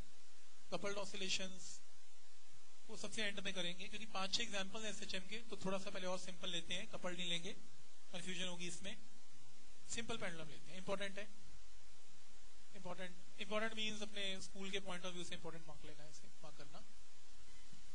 देखो, सबसे पहले, देखो, एक पेंडुलम है, उसको मैंने किसी वाई डिस्प्लेसमेंट से क्या कर दिया? डिस्प्लेस कर दिया। मैंने वाई डिस्प्लेसमेंट इसमें प्रोड्यूस कर l is the length of a pendulum pendulum थोड़ा राइट की तरफ़ चला गया, जैसे अपनी मीन पोजीशन से हट गया तो इसकी एक ये मीन होगी और यहाँ पर क्या होगी? एक्सट्रीम और यहाँ पर भी क्या होगी? एक तो मैं इसमें क्या करने वाला हूँ? कि सपोज़ पेंडुलम अभी और आगे और आगे और आगे जा रहा जाने दो। अभी पूरा नहीं किया। ठीक? तो सपोज़ उसकी डिस्प्लेसमेंट कितनी हुई है? वाई और उसने एंगल कितना कवर किया है? है एंगल ये वाला angle this is not an angle कि मैं कह रहा हूँ कि कंपेयर विद सर्कुलर मोशन नहीं नहीं, ये फ़िज़िकल एंगल है. थीटा है. ठीक यहाँ तक? ठीक? तो इसने नहीं this is not face phase is something जो आप कंपेयर करोगे इन सर्कुलर मोशन वो फ़ेज़ है. सर्कल के सेंटर पे जो एंगल है, वो फ़ेज़ है. ये मैथ्स का एंगल है थीटा क्लियर हो गया? मैथ का एंगल तो ज्योमेट्री से बनेगा ना कि देखो ये एंगल थीटा है। फ़ेज़ बनेगा नहीं। फ़ेज़ तो सिर्फ़ बस आपके दिमाग में ही चलेगा। बस एक फ़ेज़ बन गया सर्कल में। फेजर डायग्राम बन गए। लेकिन एक्चुअल में आप दिखाओगे नहीं कि किसी बॉडी को घुमा के देखिए फ़ेज़ बन गया। डिफरेंस समझ आ रहा है? तो इसमें एक फ़िज़िकल एंगल मैथ्स का बना थीटा और याद रखना, जितने भी एस एच हैं, वो हमेशा स्मॉल एंगल के साथ ही प्रूव किए जाते हैं। कि से ये एंगल कितना है? स्मॉल है जितना भी है theta this is a small angle वो इसलिए स्मॉल एंगल ले रहे हैं, क्योंकि ये एक सेक्टर की तरह हो गया मैथ्स में वो जो सर्कल का सेक्टर है सच दैट ये डिस्प्लेसमेंट कितनी है वाई ये लेंथ कितनी है एल यानी कि रेडियस कितना है एल तो एंगल को मैं क्या लिख सकता हूँ? आर कपॉन थीटा को अगर रिप्लेस करना पड़ा तो वाई बाई एल और ऐसा तभी कर सकते हैं जब मैथ्स में एंगल बहुत स्मॉल है। Tan theta is y by l tan theta में एंगल छोटा है तो tan theta can be written as theta ठीक है तक? तो इसको आप संभाल के रखें। नेक्स्ट है वेट का कंपोनेंट जी डाउनवर्ड्स अगर ये थीट है, अगर ये थीट है, ये वाला एंगल तो ये एंगल भी कितना थीट है। और अगर ये थीट है तो ये डायग्राम थोड़ा सा इसमें टेंजेंट होना चाहिए था। तो ये एंगल कितना हो जाएगा? 90 माइनस थीटा वैसे नहीं तो ऐसे ही कर लो। सीधा सीधा ये क्या जाएगा? वर्टिकली ऑपोजिट एंगल ये ज़्यादा बेटर है। ठीक है ना? तो अगर ये वर्टिकल एंगल थीट है तो ये एंगल भी थीट है? ऑल्टरनेट एंगल बोलते हैं? और ये वर्टिकली ऑपोजिट एंगल है? Mg के कंपोनेंट्स हैं थीटा के साथ mg cos थीटा और इसके साथ mg ठीक? Mg cos थीटा और t टेंशन है। ये मैं डिस्कस नहीं करूँगा because pendulum is moving in a circle तो ये अब सर्कुलर मोशन का पार्ट आ गया कि t minus m g theta is m v square by r मैं सर्कुलर तो नहीं स्टडी करवा रहा आपको कि जिसमें सेंट्रीपिटल एक्सलेशन निकाल के दिखाऊँ, नहीं, मेरे को नहीं चाहिए। मेरे को सिर्फ़ किस चीज़ की ज़रूरत है एसएच में प्रूव करने के लिए रिस्टोरिंग और मुझे मिल गई, कौन इसको वापस लेके जा रहा है एमजी बस। इसको रिस्टोरिंग फोर्स मिल गई, उसका आंसर आ गया। करें? Restoring force is mass into acceleration तो देखो restoring force is minus m g sine theta और हाँ जितनी रिस्टोरिंग फोर्सेज हैं, उनके आगे साइन क्या लगेगा? माइनस जितनी रिस्टोरिंग फोर्स है साइन उनके आगे माइनस क्योंकि वो रिस्टोरिंग है, वापस लेके आ रहे हैं। एंगल छोटा है तो sine theta can be written as theta sine theta की जगह थीटा और force is equal to what mass into acceleration Chirag sine theta angle छोटा तो sine theta can be written as theta one नहीं। Sine theta can be written as theta angle small है साफ़ साफ़ लिखा हुआ है। Sine theta can be written as theta और force is mass into acceleration mass से मास क्या हो गया? कैंसल तो आपके पास एक्सेलेशन की क्या वैल्यू आ गई? और हाँ थीटा की जगह भी आप वैल्यू पुट कर लेना। यहाँ पर सेम कैंसल तो acceleration is equal to minus G into theta acceleration is equal to minus G into theta की जगह वाई बाई एल ठीक है, यहाँ तक? And finally acceleration is equal to minus कितनी वैल्यू है? जी वाई बाई एल यही है ना? Acceleration is equal to minus G by L into Y देखो एक्स क्योंकि जी कांस्टेंट है लेंथ ऑफ़ पेंडुलम भी कांस्टेंट है। तो इक्वल टू की जगह? But this is equation of in which acceleration is proportional to displacement with negative sign समझ आ रहे हैं यहाँ तक? ठीक? क्लियर है ना यहाँ तक? तो बस आंसर आ गया। इसको कंपेयर कर लो। ये इक्वेशन हमने निकाली। एस एच एम की इक्वेशन क्या होती है? Minus omega square into Y ठीक है ना? ये इक्वेशन हमने निकाली। इसको और इस इक्वेशन को कंपेयर कर लें। तो ओमेगा स्क्वायर की वैल्यू बोलो क्या आ रही है? जी बाय ठीक है ना? कंपैरिजन करोगे तो वाई वाई ए ए तो ये टर्म क्या हो, हो इसको क्या होना पड़ेगा? Omega square is equal to G by ठीक है यहाँ तक। तो omega square is equal to omega square is equal to G divided by L, omega is equal to under root of G by L. Time period की form में omega क्या होता है? Two pi by T is equal to under root of G by L T is equal to two pi under root of लो अब जाके suspense खत्म हुआ एक साल बाद। एक एरर का क्वेश्चन आता था। Time period is two pi root of L by G अगर लेंथ में इतना एरर है तो टाइम पीरियड में कितना एरर है? तो ये फॉर्मूला हम बहुत पहले से यूज़ कर रहे हैं पेंडलम का। शायद उससे भी पहले शायद स्कूल में यूज़ करते हो। P is two pi and root of L by G आज प्रूव हो गया कि हाँ इसका time period two pi and root of L by G है। और हाँ कई बुक्स ऐसे, ये तो एक सिंपल तरीका है, जिससे कि टाइम पीरियड का प्रूफ निकाला कई बुक्स एक टॉपिक आपको एक टॉपिक है, जिसको एंगुलर एसएचएम बोलते हैं। एंगुलर एस हम जो एस कर रहे हैं, वो लीनियर एस है। हमने हर इक्वेशन लीनियर में ली। Y is a linear displacement A is linear acceleration बहुत सारी S H M angular S की कैटेगरी में एंगुलर मोशन चीज़ घूम रही है। अब पेंडल में तो घूम ही रहा तो इसमें टॉर्क होगा। घूम रहा तो अपने ओरिजिन जहाँ से वो टंगा हुआ है, उसके अलॉन्ग उसका टॉर्क होगा। तो अगर आप रोटेशनल मोशन की हेल्प से पीरियोडिक मोशन प्रूव करते हो तो वो एंगुलर एंगल मींस टॉर्क वो सब रोटेशनल मोशन कॉन्सेप्ट आ जाएँगे। जो कि मैं इस बैच में नहीं करवाने वाला हूँ अगेन क्योंकि वो आपके नॉर्मल कोर्स में काम नहीं आते। हाँ जितने भी अगर आप पुराने पेपर उठा हुआ आई के, सारे क्वेश्चन एंगुलर एसेशन के ऊपर मिलेंगे। तो मैं आपको असाइनमेंट दूँगा उसकी। तो उसमें आपको बताऊँगा कि एंगुलर एस के क्वेश्चन कैसे सॉल्व किए हुए हैं। ठीक? बट यहाँ तक क्लियर है। कोई डाउट इसमें।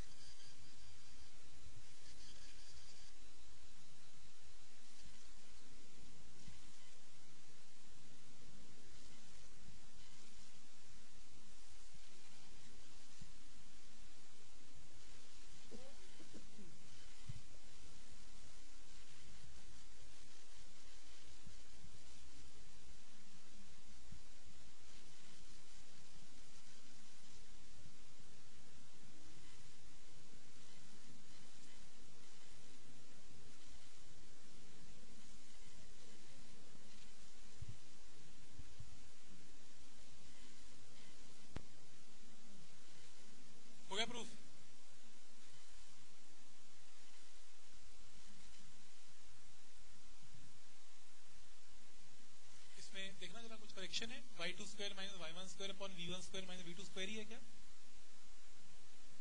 Two pi okay two pi भी लगा लो प्लीज़ उसमें शायद टू पाई मिसिंग है, इसमें टू पाई लगा लो. ठीक? मैं थ्योरी इसलिए रोक रहा हूँ बिकॉज़ बहुत ज़्यादा हो जाएगी थ्योरी तो थोड़ा सा न्यूमेरिकल के साथ इसको प्रैक्टिस करते हैं. तो अभी a particle is silence please बात मत करो. Particle is moving with SHM in a straight line. When the distance of particle from equilibrium positions have values y1 and y2 मतलब पार्टिकल SHM में है और मान लो किसी भी इंस्टेंट पर उसकी डिस्प्लेसमेंट ज़ीरो से कितनी हो गई y1 हो गई corresponding values of velocities are v1 and v2 तो velocities भी चेंज होगी उसके correspondingly तो v1 and v2 क्या निकालना है बताओ इसका टाइम पीरियड का ये फॉर्मूला है ठीक क्वेश्चन में क्या क्या इन्वॉल्व हो रहा है v y t तो ऐसा फॉर्मूला बताओगे जिसमें v भी आए y भी आए t भी आए कितना? A is equal to omega square two है। क्यों? नहीं नहीं नहीं नहीं नहीं, एक सेकेंड मैं यहाँ से चला, सुनो प्लीज़ मैं यहाँ पर हूँ, मान लो मैं एस एच एम में हूँ, मेरा वाई यहाँ पर ज़ीरो है। मैं यहाँ चला, यहाँ डिस्प्लेसमेंट वाई वन होगी तो उस टाइम पर वेलोसिटी वी वन है। फिर मैं यहाँ से यहाँ आया वाई टू पे वेलोसिटी कितनी है? वी टू है। हमने अभी एक फॉर्मूला किया था। V is equal to omega into under root of R square minus Y square याद है अभी? V is equal to omega into under root of R square minus Y square कुछ भी नहीं करना। Y की जगह केस नंबर वन लो। केस नंबर वन में v की जगह V one omega R square minus Y one square first equation next case number two में क्या करना है आपने? V two omega under root of R square minus Y two इसको स्क्वेयरिंग कर लेना चाहिए। बेटर रहेगा इसको स्क्वेयरिंग कर लेना। V one square omega square R square minus Y one square v two square omega square R square minus Y इनको simultaneously solve कर लो। आर को इलिमिनेट करना है। क्योंकि जो प्रूव करना है, उसमें आर नहीं आ रहा ना। तो नीचे से आर की वैल्यू को उठाओ और ऊपर पुट कर दो। और ओमेगा की जगह पुट कर लेना two pi by capital T omega को पुट करना two pi by capital T because you have to calculate the value of time तो यहाँ ओमेगा की जगह two pi by capital T check करना आंसर आ रहा है। एक काम करो सब्ट्रैक्ट कर दो। क्योंकि ऑप्शन देखो ना, उसमें शायद V one square minus V two square चाहिए आपको। ऑप्शन में V one square minus V two square चाहिए ना तो इसको सब्ट्रैक्ट करो आंसर आ जाएगा। बिल्कुल ही क्लियर हो गया। प्रूव करो आंसर आ रहा है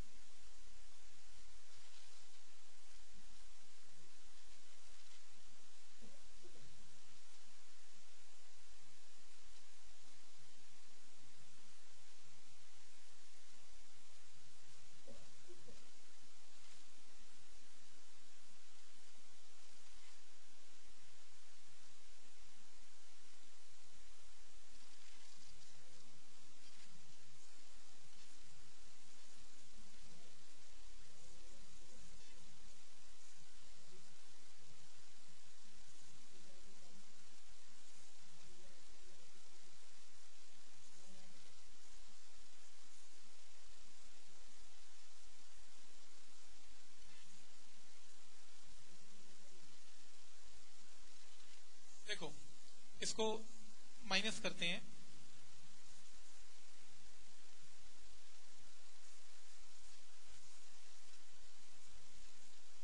तो v one square minus V two square omega square common है। एंड आर स्क्वायर से आर स्क्वायर कैंसिल हो जाएगा। तो क्या आंसर आएगा? Y two square minus Y one square और ओमेगा की जगह रिप्लेस कर लेना two pi by capital T तो जो टी निकालना है, उसकी है इसमें ठीक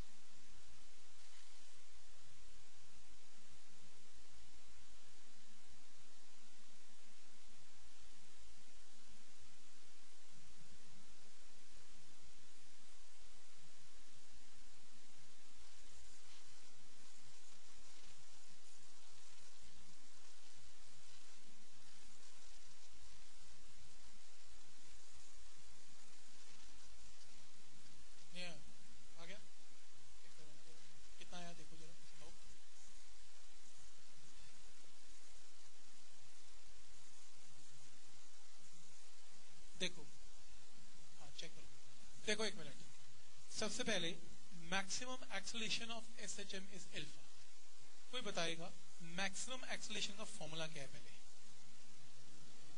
वैसे फॉर्मूला होता है माइनस ओमेगा स्क्वायर वाई पर वाई की जगह मैं क्या पुट कर सकता हूँ? आर आर फॉर एम्पलीट्यूड तो जब वाई मैक्सिमम है तो ए भी मैक्सिमम है। तो इसका मैग्नीट्यूड लेना प्लीज़ डायरेक्शन की ज़रूरत नहीं है इसमें। तो ए मैक्स का मैग्नीट्यूड किसके इक्वल है? Minus omega square R this is equation number कोई डाउट किसी को इसमें? मैक्सिमम वेलोसिटी का फॉर्मूला बोलो। आर ओमेगा अभी हमने डिस्कस किया था ना मैक्सिमम वेलोसिटी मैक्सिमम वेलोसिटी कब होगी? When y is equal to zero mean position पे तो वो आर ओमेगा एक और तरीका बताया था, cos की वैल्यू वन पुट कर दो तो v max is R omega आपको a मैक्स क्वेश्चन में गिवन है कितना? अल्फ़ा v मैक्स गिवन है कितना? बीटा आपको इसमें क्या निकालना है? आर निकालना है। एक काम करो, इसको सेकेंड इक्वेशन को स्क्वायर कर लो। Beta square is R square into omega square एक ये इक्वेशन आ गई और एक ये इक्वेशन आ गई। इन दोनों को क्या कर लेना है? डिवाइड तो आपने क्या करना है? Three third equation divided by one तो आपके पास आंसर आएगा आर ओमेगा स्क्वायर से ओमेगा स्क्वायर कैंसल आंसर आएगा beta square divided by alpha. कोई डाउट इसमें? समझ आ रहा है ना यहाँ तक? समझो कुछ भी नहीं किया एलिमिनेशन किया है। फॉर्मूला यूज़ कर लिया अल्फ़ा का ए मैक्स का वी मैक्स का। तो इसको अगर मैं स्क्वायर करूँगा तो ये R square omega square omega square से ओमेगा स्क्वायर एलिमिनेट कैंसिल हो गया। आर की वैल्यू आ गई। समझ आ रहा है सबको? कोई डाउट माइनस साइन है एक्टिव डायरेक्शंस के लिए। आप लगा भी दोगे, कोई फ़र्क नहीं पड़ेगा। इट मीन वेलोसिटी और जिसकी और वैसे भी स्क्वायरिंग हो गया ना जब। Squaring means you are not talking of direction now. Alpha में लगा रहे हो ना? अल्फ़ा में लगा रहे हो। लेकिन जब वेलोसिटी का स्क्वायर कर चुके हो तो इसका मतलब आप वेक्टर में काम ही नहीं कर रहे, आप स्केलर में काम कर रहे हो। ठीक है ना? जो सेकेंड इक्वेशन है, वो ठीक है, यहाँ तक वेक्टर है, लेकिन आगे जाके तो वो स्केलर में बन गई ना। तो यूज़ नहीं होगा इसका ओके यहाँ तक क्लियर है? संडे का टेस्ट किसे नहीं दिया? यहाँ से हाथ खड़ा करना। इस संडे का टेस्ट आपने दिया अरमन क्यों?